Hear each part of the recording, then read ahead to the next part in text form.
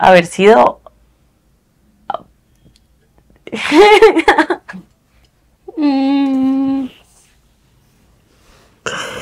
cachos infección. e infecciones. no, ese sí. Uy, es- no, ese es un hijo de puta. O sea, qué pena te lo digo así. Yo no encontré ningún chat si es lo que están pensando. Encontré algo peor. Que no crean que esas cosas solo les pasa a ustedes y que no van a poder salir de ahí. Sí van a poder salir de ahí. ¿Sabes qué hice? ¿Sabes qué hice? No perdonaste. Volví a la fiesta. Ay, no. Y un recibo de un motel. Ay, no. ¡Ay, no! Ay, lo siento mucho. ya al menos es tu ex. Gracias a Dios.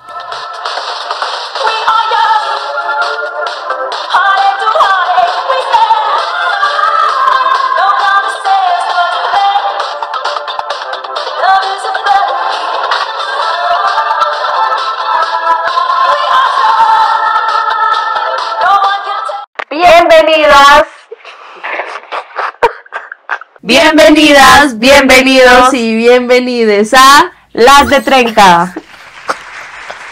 El día de hoy, como han leído en el título, tan tan tan tan, Historias Ultratumba. cosas que le hemos y le han perdonado a, sus ex, a, nuestros ex. ¡Ay, salud! Y hoy estamos ready, estamos Sí. ready entonces. Hoy es una cervecita bien, bien, bien fancy. fancy, fancy. En momentos que nos mantienen humilde en nuestra vida, ¿Quién empieza? Ah, bueno, pero espera. Contexto. ¿Cuál es el contexto de este video? ¿Por qué carajos le perdonamos todo esto? No, Bueno. no tenemos estándares, no, tenemos, no, teníamos, teníamos, vamos a hacer la claridad de que teníamos. no teníamos estándares, éramos más chiquitas, creíamos en el amor romántico de que tenemos que perdonar todo por el amor de nuestras vidas. Ingenuas, Ingenuas, inocentes. inocentes. No, pero es que de verdad, ¿por qué perdonamos? De hecho, eh, haciendo la lista, yo decía, a mí cómo carajo se me ocurrió perdonar una cosa así, pero no sé, en ese momento simplemente sucedió. Y ojo, ojo, por favor, no le digan a sus amigas, amiga, date cuenta. O sea, Ya lo hemos hablado en varios capítulos. sí, exacto, porque es que no es fácil darse cuenta. O a lo mejor nos dimos cuenta, pero es que no es fácil salir de Ya ahí. nos dimos cuenta, ya salimos de ahí, pero todo es un proceso. Y de hecho, lo que les, les estaba diciendo, hacer esta lista de ver las cosas que hemos perdonado, nos ha servido para darnos cuenta en qué punto de nuestra vida estamos. Y fueron cosas pues que hicimos estando muy pequeñas, en nuestros 20, Nuestros 20, es inicios, de, verdad. inicios de los 20. Ahora tu- tu- tus amigas, las de 30, te quieren aconsejar y que ojalá tú no pases por estas cosas. Y si sí pasaste, ¿sabes qué? Este es el momento para que tú también nos dejes tus historias de ultratumba comentando que le has perdonado a tu ex. Déjalo en los comentarios, lo que quieras, y a lo mejor hacemos una segunda parte. Exacto, porque recibimos una cantidad de historias. Dios mío. Es que las mujeres sí somos muy buenas personas. ¿Quién empieza? ¿Piedra, papel o tijera? Pero contexto, ¿no dijiste qué contexto? Mira, yo lo único que voy a decir es que aquí yo voy a hablar de exnovios. Yo he tenido muchos exnovios, he salido con mucha gente, así que no estoy hablando de alguien en particular, ¿ok? No, pero en verdad no estoy hablando de alguien en particular, o sea, a lo mejor hay Ah, no, pues acá lo que perdonamos no se lo perdonamos a una sola persona, sino han sido relaciones que hemos tenido a lo largo de nuestra vida. Exactamente. Entonces, vamos a, a comenzar de lo más tranqui, o sea, que tú dices, "Mm, estuvo mal, pero a lo más heavy, ¿ok? Y también, como siempre acostumbramos a hacerlo, vamos a tener un espacio en el que vamos a comentar y a contar sus historias, las que nos dejaron en nuestras redes sociales, que aprovechamos para invitarlas e invitarlos A que nos a sigan. que nos sigan En arroba las de 30. O sea, no sabemos, ¿no? Acá todo es No sabemos nada, no, No hemos sabe- leído tampoco las de ustedes, lo que nos escribieron para reaccionar aquí en todo vivo y en reacción directo. en vivo y en directo. Esta tenía como unos 18 años, ya tenía cédula, y entonces el man era súper fiestero, muy fiestero. Entonces él me dijo que me fuera a la 51 porque era fiesta universitaria. Aquí Ajá. en Bogotá ir a la 51 es plan universitario, fiesta universitaria. Entonces nosotros nos fuimos para allá. Él tenía un amigo que a mí me caía muy mal porque siempre era fiesta, fiesta, fiesta y descontrol y incluso llegaban a vivir juntos, mejor dicho. Entonces yo estaba ahí en la fiesta, tipo, no sé, 7 de la noche. El man me agarra, me dice, ven, vámonos, vámonos que ya está muy tarde, yo creo que ya es hora de que nos vayamos. Y yo, ay, tan lindo, tan lindo, preocupándose por mí. Agarró un taxi, me metió al taxi sola, sola. Y me dijo, no, no, yo me voy a quedar, vete tú. Vete tú, yo me voy a quedar. Y se quedó con ese amigo. Y yo me fui, o sea, cuando yo veo, me cerró la puerta y me mandó para mi casa y no pagó el puto taxi. ¿Ah? ¿Y seguiste con él? Sí, tres años más. ¡Ah! No, no tengo nada que aportar al respecto. Pucha. Ah, bueno. desgraciado. Desgraciado y se quedó. No puede ser. O sea, ¿cómo me va a ¿Y matar? al día siguiente qué te dijo? Yo no me acuerdo porque yo en ese momento ni siquiera lo vi tan grave como lo veo ahora. O sea, en ese momento fue como, ay, qué piró, o sea, pero ya. Que piró, que piró. Mira, no, te voy a, abrazo mucho, mi no te- niña. no te voy a decir nada porque me, me mutean. ¿Listo? Esta fue, o sea, lo más triste fue que yo lo sospeché. Siempre háganle caso a su A la intuición. intuición. Pero luego que terminé, me lo confirmaron las demás personas. Y fue que me tenía envidia. Ah, ¿el man? Ay, ¿cómo fue? ¿Por qué? Un man, ¿cómo te puede tener envidia? Tenía envidia de los papás que yo tenía, de la familia que yo tenía, de que yo había tenido pues una vida diferente a la que él había tenido, de que tenía facilidades en un- algunas cosas y él no. Eh, le daba envidia que dijeran que yo era inteligente, le daba envidia, o sea, ¿Y el man cómo te lo hacía saber? O sea, ¿tú por qué lo sospechabas? ¿Él te decía comentarios feos? como pasivo-agresivos. Ah, Como, por ejemplo, le decía, Marica, pero su novia es súper bonita. Ah, sí, pero no es para tanto. Y yo, ¡oh! no, te entiendo. O sea, a mí también me pasó que tuve un Nunca me. exnovio O sea, Mm. eso me pareció.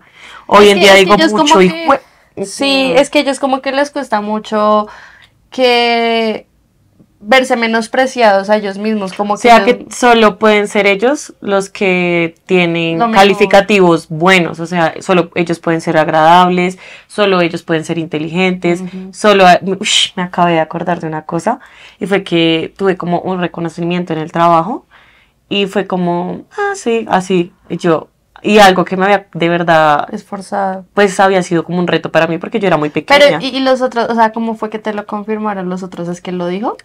Eh, no,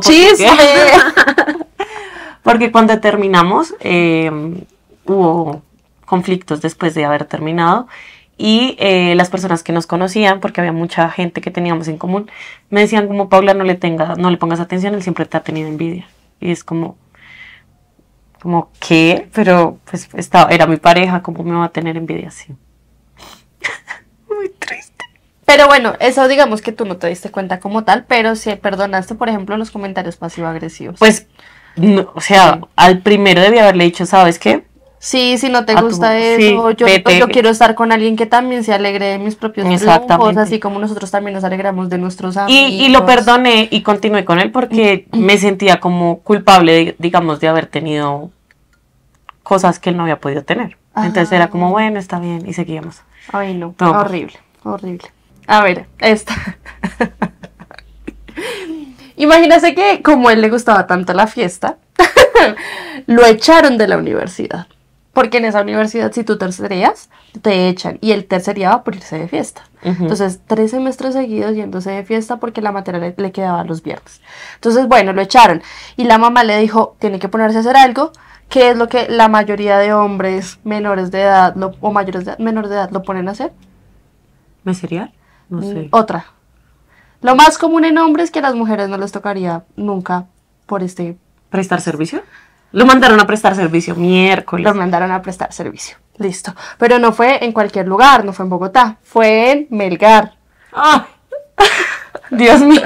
En Melgar es como un pueblo que queda a dos horas y media de Bogotá. Bueno, Que pues, es un rumbeadero constante y sonante también. Eso dicen, ¿no? Sí, yo creo que sí. A los, A los tres meses es cuando ya pueden recibir visitas y yo ahí firme, siendo su novia, chateando, porque pobrecito y toda esa vaina, ¿no? Yo fui hasta Melgar a visitarlo. Me madrugué a las 7 de la mañana, pero eso no es todo. Yo le dije a mi papá que me acompañara, porque pobrecito, ¿sabes? Mi papá me acompañó hasta Melgar a, a visitar al hermano.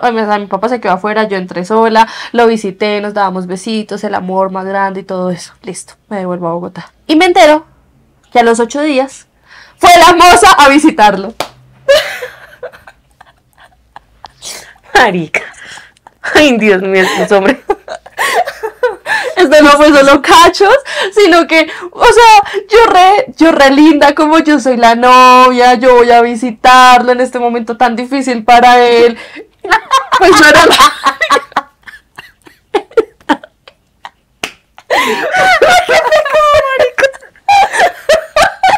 Oye, no te rías. No, no, no, ya sería. Pero, o sea, no. Me causa un poquito de risa. Ay, no, terrible. Pero en ese momento no le duele. Uno, ¿Cómo uno le, corazón. una música y la moza también se vaya hasta- ¿Cómo lo logró? ¿Cómo Pues lo de pronto ella logró? creía que era la novia también. No, El- mm, buen punto. Pero no, porque conmigo, no sé. Esa es otra que obviamente no perdoné. Bueno. Obviamente. Pero mire que de hecho, pues aquí como en chisme y story time, el hecho de que estuviera prestando servicio hizo que nosotros nos pudiéramos separar porque como éramos así súper pegados, uña y mugre, pues tanto tiempo la distancia hace lo suyo. Entonces tú no te acostumbras a esa persona porque ya estás viviendo cosas por tu propia cuenta y solo están chateando. Entonces ya cuando él me Te terminó, desacostumbras. me desacostumbré muy fácil, fue súper fácil. Los seres humanos somos seres de costumbre. La costumbre, otra vez. Tenemos un TikTok especial hablando de eso. Este es un poquito tristico. Ay. Pero, o sea, ya me abrazo y digo, ya, Pablo, tranquila, estabas pasando por un mal momento. Que no tuviera iniciativa y que volviera cada vez que quisiera. Ok. o sea, explica. entonces, que no tuviera iniciativa. Los planes eran en mi casa, eh, los típicos planes de ver películas, comer en la casa o salir a comer por ahí cerca, pero nada como, como vamos a hacer un plan afuera, o, o sea, fueron contadas las veces. Y lo hacía cuando peleábamos. Esas eran las únicas mm, veces en las que hacíamos esto. Y que volviera cada vez que, que quisiera era porque en ese momento tomaba muy malas decisiones, entonces entré en un hábito de terminar y volver, terminar y volver. Terminábamos y yo permitía que él volviera cada vez que quisiera o yo volvía, o pues, pero eso, eso no tiene ningún sentido. O sea, lo está viendo. y lo per- y perdonaba y lo perdonaba y creía que eso no iba a volver a pasar y más durábamos en terminar que otra, otra vez estar en lo mismo y otra vez volver y otra vez estar en lo mismo y eso es desgastante y crea malos hábitos en nosotras o sea cuando tú entras a una relación que comienza a tener estos hábitos créeme que salir de ahí se va a volver muy difícil Es verdad. No, Eso pues es. muy duro. Yo creo que ya con lo de la iniciativa, es que sabes ahí como lo veo, como el hombre del mínimo esfuerzo. O sea, yo siempre, siempre hablo del máximo esfuerzo. Yo les dije en un capítulo que, ah, no, fue una respuesta que le, le hicimos a una chica que nos, que nos dijo, y fue como, piensa si en tu mejor momento tú estarías con una persona que te dé el mínimo esfuerzo. En ese momento yo estaba con él, primero porque estaba machucada emocionalmente, estaba vuelta a nada, herida, no estaba pasando por un mejor, un buen momento, y acepté tener un vínculo así, pero hoy en día digo ni por el carajo estaría con un ser humano así.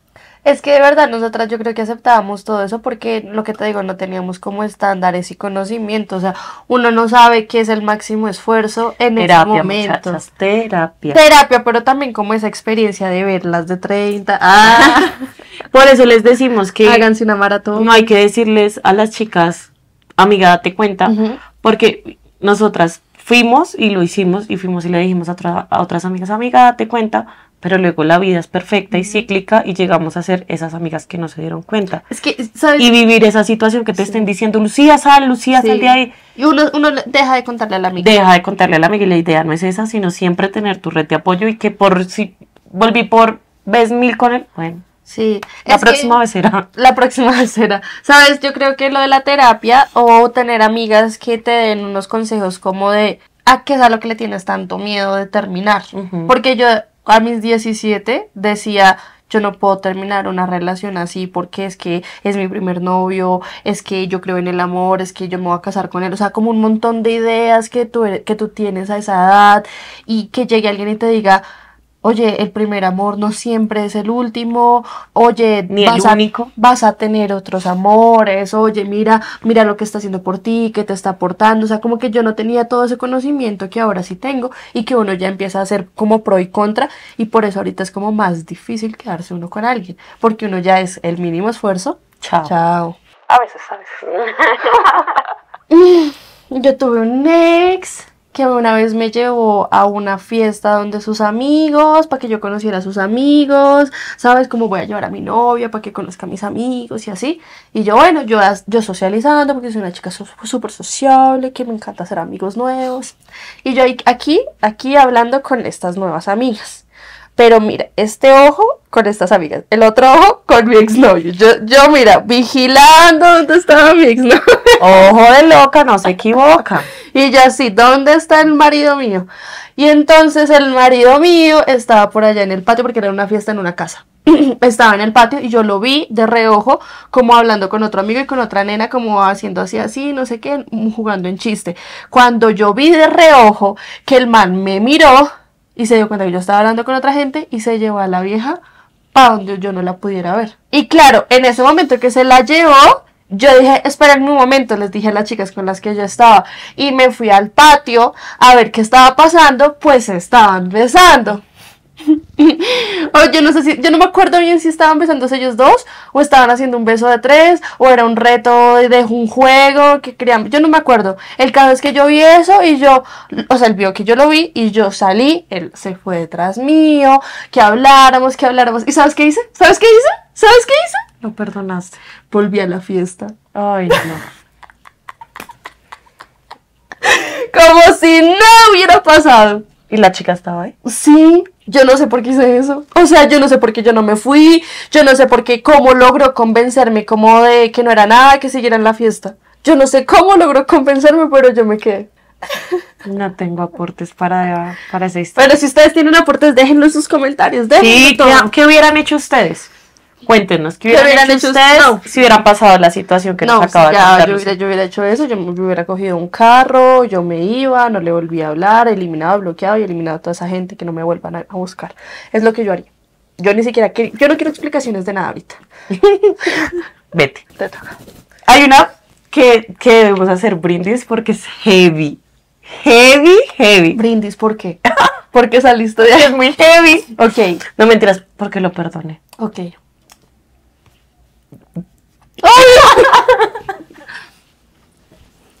Así es todo. Ay, no. Yo tuve, yo tuve un novio con el que duré un tiempo prolongado. Nosotros teníamos todo nuestro tema eh, de prevención sexual todo al día, así como eh, plan- yo planificaba, juiciosita, todo bien, normal. Yo planificaba y con eso estábamos bien porque éramos una pareja estable y pues para nosotros estaba bien. Y resulta que un día el tipo llegó del trabajo y dejó su maleta como en el piso y no sé por qué diablos yo tenía que, creo que era que le había pedido el cargador prestado o algo, no sé. Ay, no.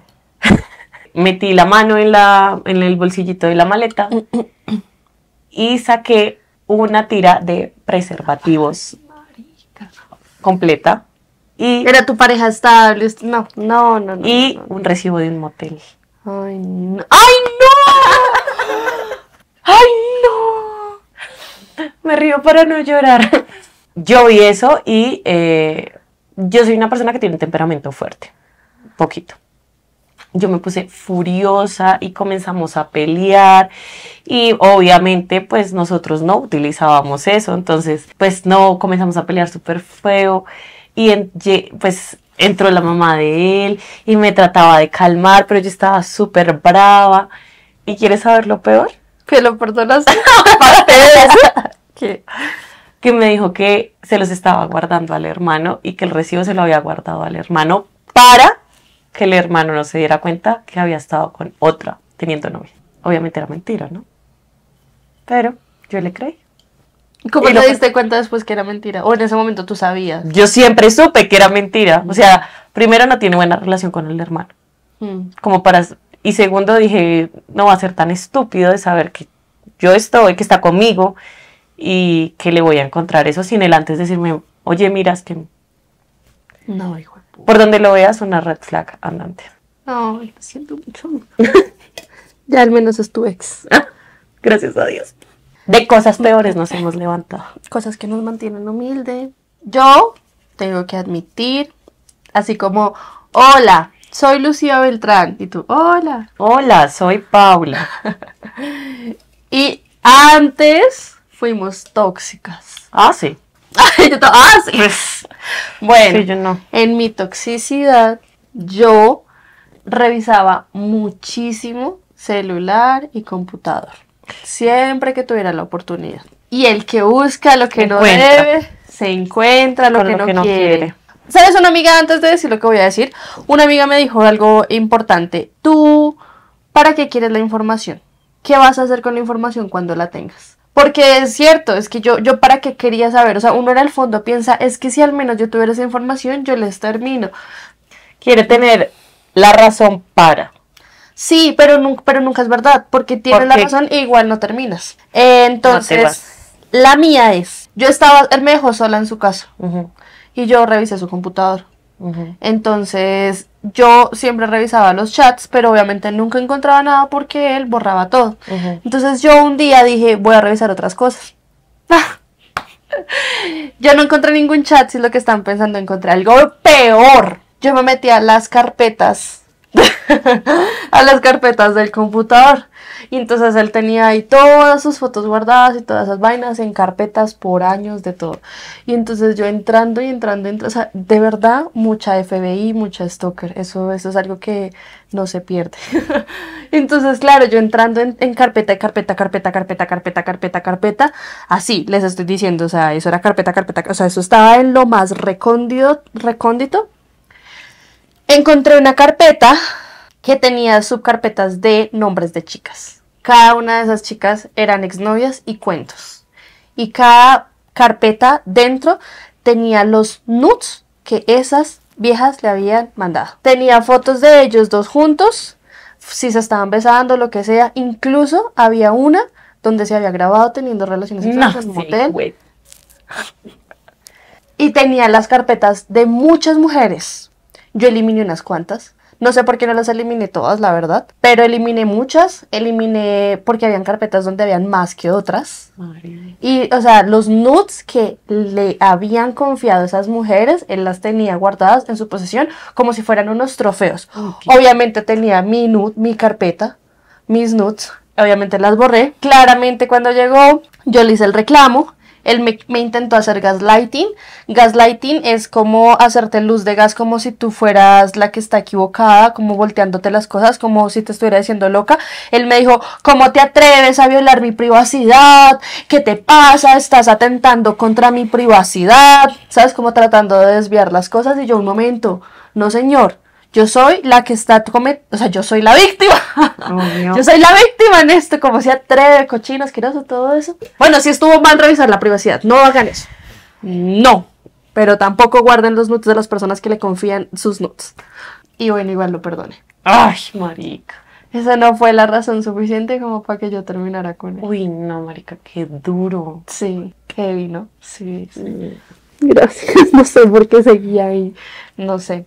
Y obviamente yo le conté a todas las viejas con las que yo hablaba que yo sabía que estaban ahí. Y de hecho ahí me enteré cómo él se había Había estado con tales viejas. Claro, porque yo obviamente solo tenía la duda, pero con esas fotos ya tenía la certeza. Uy, no, Dios mío.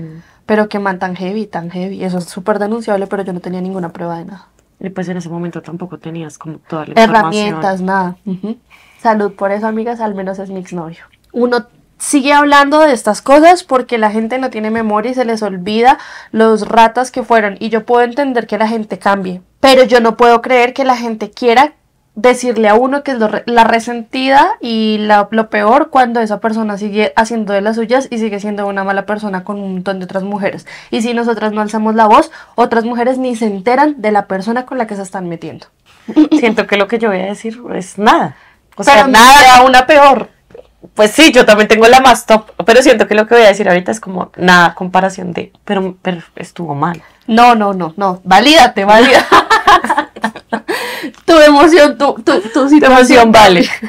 Es que de hecho me acordé de esa porque me acordé de otra que también me había hecho, que yo también en el bolso le encontré una, una boleta de cine un día que se había perdido. Dos boletas de cine. El día que se perdió, ¡ay, se me descargó el celular! Y encontré dos boletos, me acordé que yo le revisaba el bolso y de una vez me acordé que yo le revisaba el computador. No, no, ¿sabes qué? Yo con este video me estoy dando cuenta que de verdad yo tengo que trabajar mucho en mi valor propio, en el valor que tengo como persona. Sí, pues porque eso es de no valorarte. O sea, de que... Ay, no, pues, pero es que es muy duro. es que o uno sea- sigue ahí porque cree que es el único. Yo no sé, necesito más terapia. A mí me daría miedito, la verdad. ¿Qué? Pues ver eso. O sea, con qué tipo de ser humano estoy. Basta. Pero bueno, sabrá Dios si he estado con alguien así. No lo he visto, pero bueno. Al menos ya salí de ahí. Amén. Amén. Bueno, ¿cuál fue la mía? Pues que siento de verdad. No te importa. Invalidada. Ah, no, ya lo hemos hablado en, en otras ocasiones. Para mí, el día de mi cumpleaños es muy Ah, importante. Ok.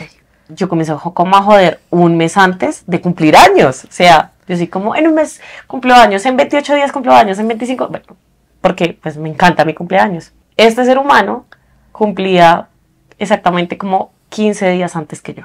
Para el día de su cumpleaños tuvimos una pelea por culpa de él. Entonces él se fue, hizo su tema de cumpleaños y ya. Y resulta que 15 días después llegó mi cumpleaños y se fue de viaje. Ay, güey. Y ni, o sea, nada, ¿sabes? ¿No te dijo nada?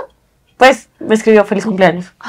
No te hizo nada, no estuvo contigo. Nada, ni siquiera, oye, sal a la esquina y feliz cumpleaños. Nada. Y luego me hizo sentir culpable. Ay, no. Porque su cumpleaños habíamos peleado. Y él se había tenido, se vengó. se había tenido Uy. que ir de, de viaje con sus amigos porque no hicimos nada. No, se vengó de ti. Eso. mm, Es lo peor, que los, o sea, yo- miren, una red flag O sea, y fue el día de mi cumpleaños, ¿sabes? Sí, o sea, por eso, una red flag gigante es un man que cague tus cumpleaños. O sea, eso lo hace solamente manes tóxicos, manes narcisistas, manes pailas. Sí, nadie merece que se cague en el cumpleaños de uno. Y se lo cagó. Pero lo Pero- significa mucho. Pero más. ahora celebramos mis cumpleaños. Topsísima. Este año la pasé increíble. Ay, sí, este año fue muy chévere para ti. Sí, este año estuvo increíble. este pareja. año. y Este año vienen los 30. Soltera, me encanta porque yo no quiero tener ningún novio en mi fiesta. Sí, amigos, pero no dejen que dañen sus fechas especiales. Ay, sí. Igual, esto me hace recordar Fechas que también era las navidades, los Eso, 31. No, no está chévere eso.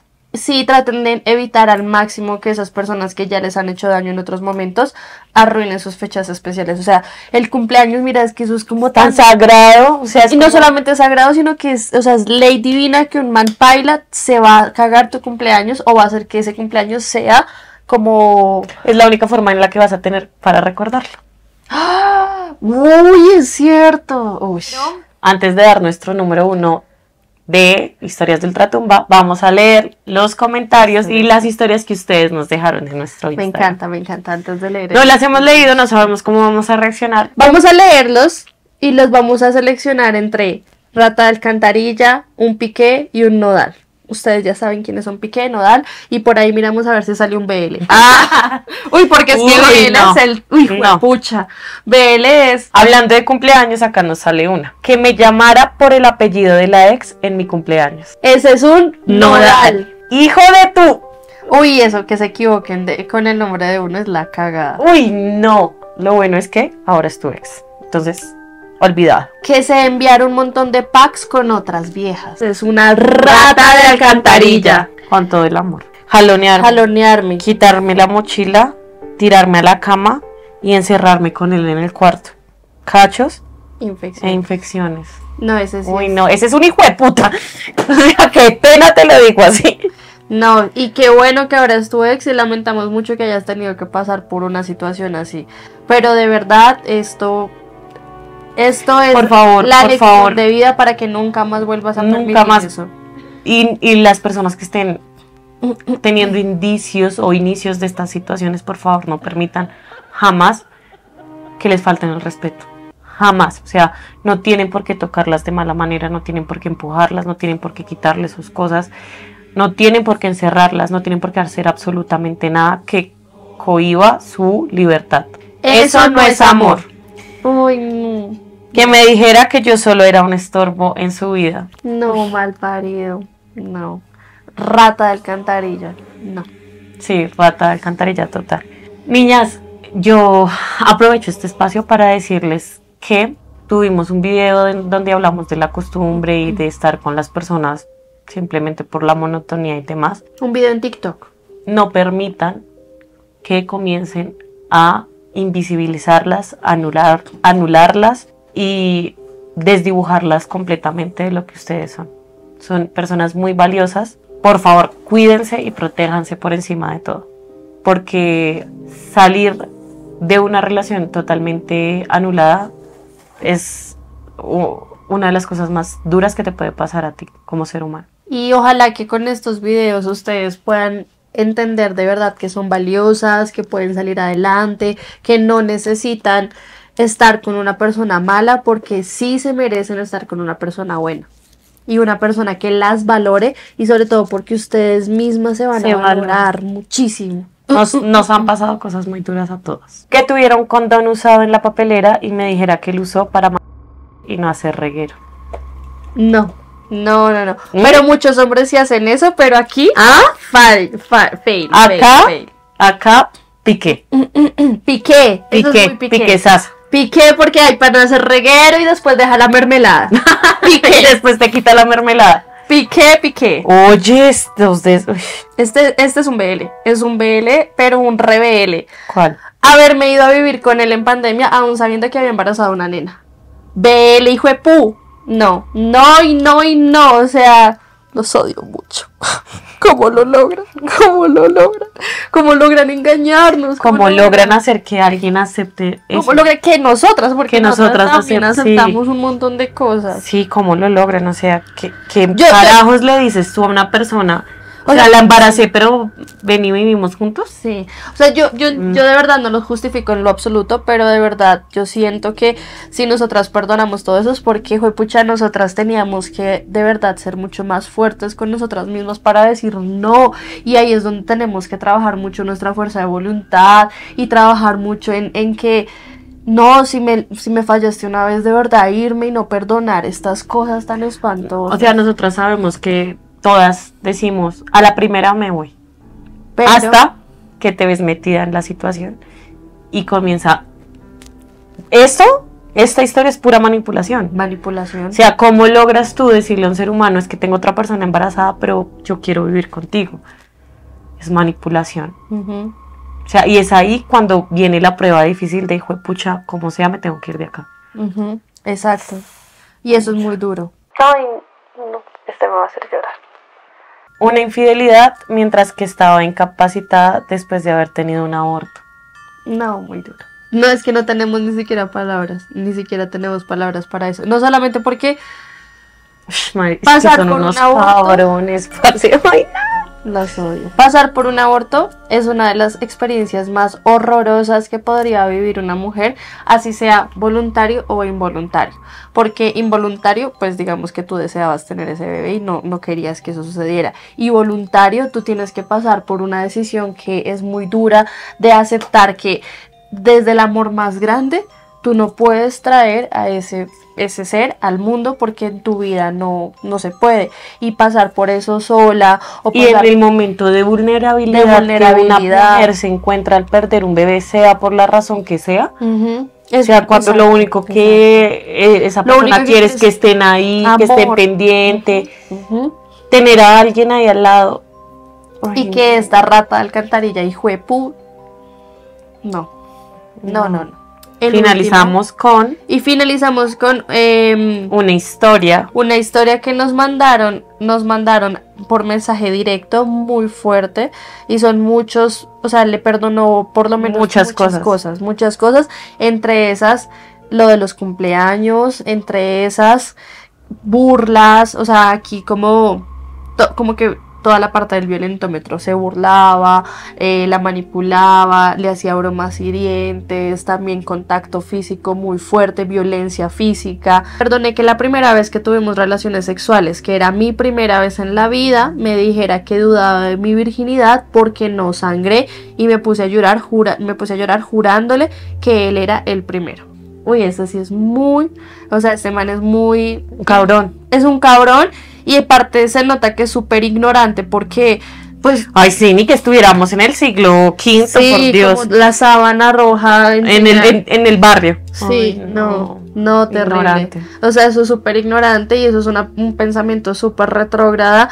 Es un, no, injustificables y Y a ti que nos enviaste todas las historias por DM, te enviamos un abrazo enorme, con muchos besitos y queremos decirte que eres muy valiente y esperamos que estas cosas no le vuelvan a pasar a nadie. Sí, y que cualquier cosa que necesites también cuentas con nosotras. Nosotras te juro que nos- estamos ahí súper disponibles para eh, escucharte principalmente. Y si quieres algún consejo, también estamos dispuestas a aconsejarte. Pero principalmente si crees que necesitas ser escuchada, de verdad. Aquí estamos. Y bueno, llegó el momento de la verdad. Ay, nena, te lo digo, te lo digo, que este número uno de nosotras.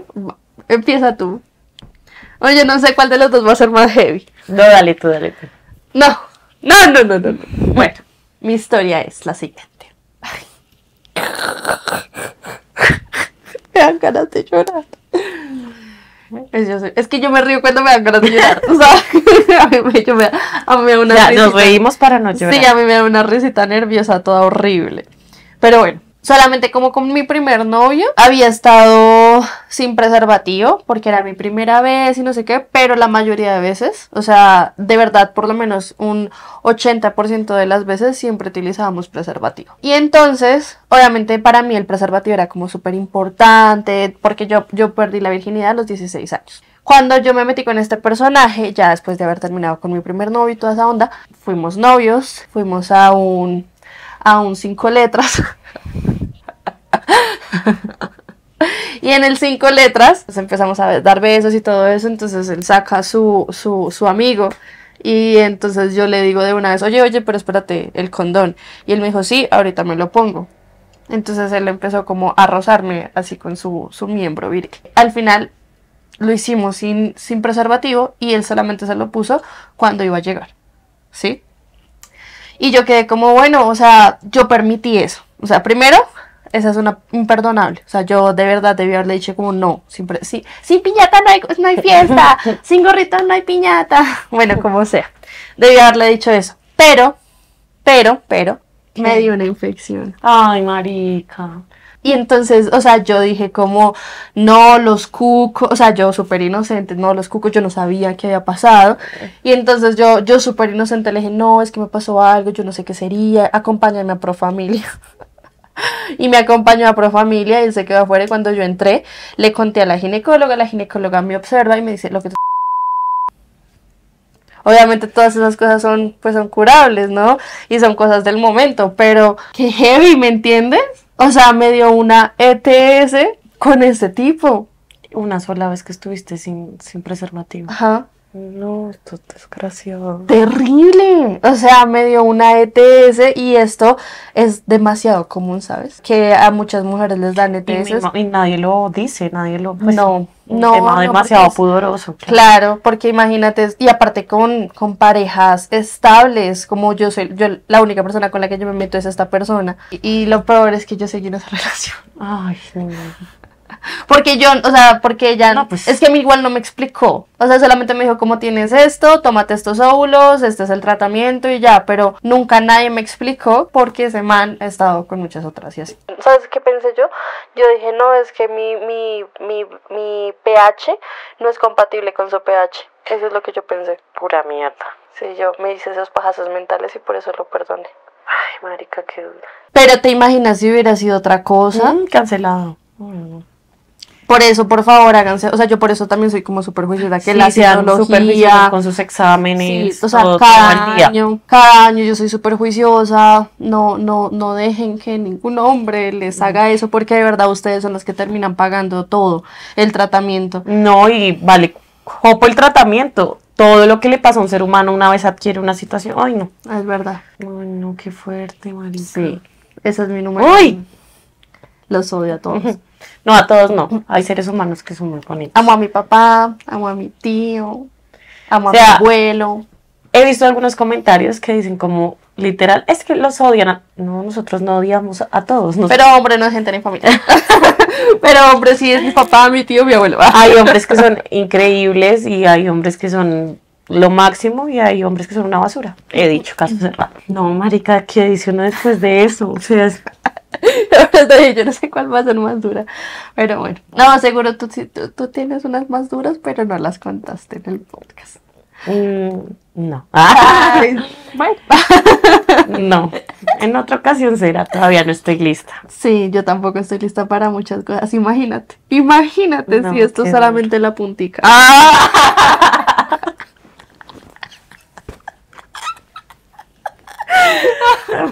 a estar pensando en la puntica. Tu número uno.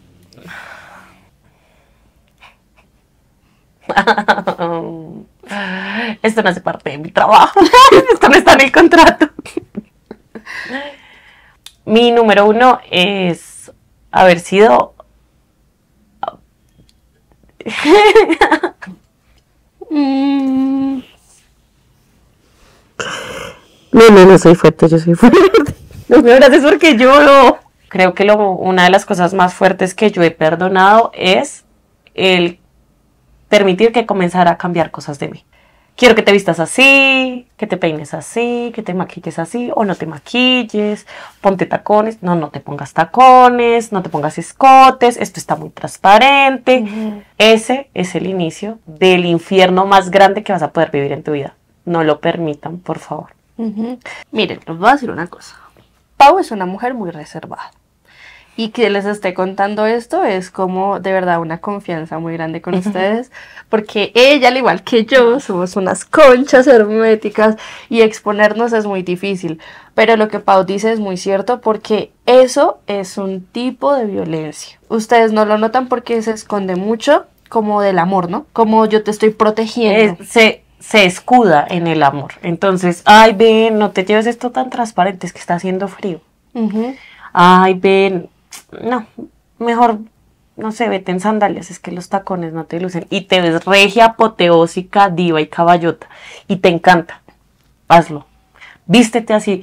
No, o sea, no, no, no permitan que comiencen a cambiarles cosas de su esencia. Lo que decíamos ahorita de cuando tú sales de una relación completamente anulada, invisibil, o sea, invisibilizada, ya es un punto muy duro para levantarte de ahí. Ujú. Y lo que dice Pau es que después de eso empieza a subir el nivel. O sea, ya no es solamente como el escote, sino como ve que tú lo permitiste. Porque es que eso empieza así. O sea, ellos van como tanteando el terreno. Las personas así van tanteando el terreno como O si tú estás así vestida, yo no salgo contigo entonces. Y va subiendo el nivel y va subiendo el nivel y luego va haciendo cosas peores. O sea, una vez hace en pandemia yo hice un video en TikTok hablando de esta pareja en ese momento que era, em, ¿tú te acuerdas de Bros Nación? Eh, Bros Nación, uno de los de Bros Nación o algo así, tenía una novia que se llamaba Daniela, algo así. Bueno, no me acuerdo muy bien porque yo no los conozco ni veo su contenido, pero me salió una broma, una broma del chico que cogía uno, un maquillaje de ella. Ay, pero yo sí lo vi, pero con, con este chico eh, Jefferson. Que le Jefferson también rompía- hace eso. Que le Jefferson rompía también ha las paletas. Y Exacto. Y cogen y le dañan. O sea, ellos lo hacen como una broma. Y ahí es que eran, era maquillaje copia o no es el original o después se lo pago. Pero eso sí puede pasar en la vida real, pero no de forma de broma, sino forma real. Real. Como yo no quiero que te maquilles. Porque es una. Entonces así te van reteniendo, te van reteniendo. Y por eso digo como lo del violentómetro. O sea, empiezan con algo pequeñito y eso va subiendo, va subiendo, va subiendo. Entonces, eh, ahí como que confirmo contigo. Y, y cuando tú permites una vez, ellos siguen y siguen y siguen haciendo cosas más duras y más duras. Lo que se permite se repite. Siempre. Aplica para todo. Si tú permites que comience a decirte cómo vestirte, cómo salir, cómo actuar, cómo ser, qué decir, qué opinar, quedarte callada y demás, le estás dando todo el poder de que comience a borrar lo que eres tú como ser humano. Y cuando logres, porque eso no es fácil, pero cuando logres salir de ahí, ¿quién eres? O sea, ¿quién termina siendo tú? Y es como tú, tú conoces a alguien que era antes de la relación y muchas veces a uno se le olvida. Analícenlo también con sus amigas o conocidas o amigos, porque también hay hombres a los que les pasan situaciones parecidas y verán que son unos antes y unos y otra persona completamente distinta a, a cuando viven este, este proceso de, de violencia, porque es una, un tipo de violencia. Y no es imposible volver a ser la misma persona una vez pasas por eso. Lo quisimos hacer como en forma jocosa y nos reímos de nuestras desgracias.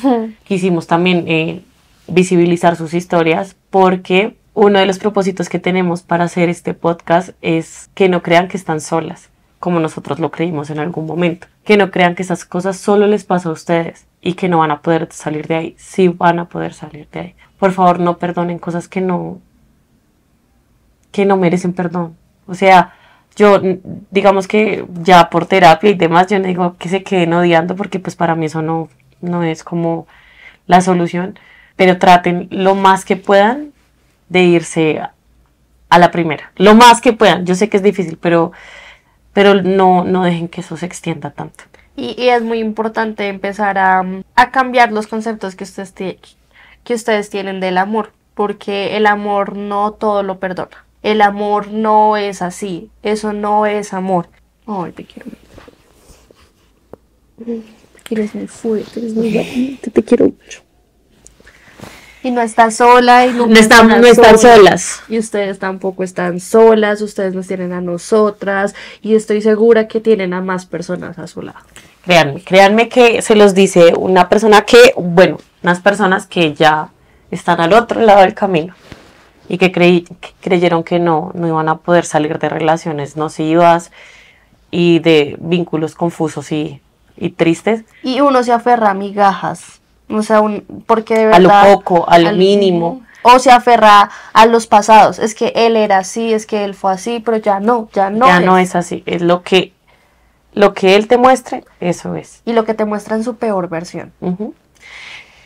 Y bueno, chicas, chicos, eh, esto fue todo. Estas son las cosas que hemos perdonado, que ustedes han perdonado. Nos encanta leerlos, nos encantan que nos envíen sus historias. De verdad que les agradecemos un montón el apoyo que nos han dado. En TikTok vamos llegando ya casi a los 10 mil y esto es solamente gracias a ustedes. De verdad las amamos y los amamos muchísimo. Nos encanta que, estén en esta era de las de 30. Oigan, es muy importante que si están viendo esto y llegaron hasta acá, de verdad vayan a seguirnos también a nuestra cuenta de Instagram porque allá es donde estamos haciendo todas estas dinámicas para que ustedes estén pendientes. Allá publicamos también historias como dando definiciones, frasecitas, entonces es muy importante que nos sigan en todas las redes de manera integral porque siempre estamos publicando contenido extra. Las y los queremos mucho y nos vemos otro día. Hasta aquí nos trajo el río. ¡Chao! Uy, qué heavy.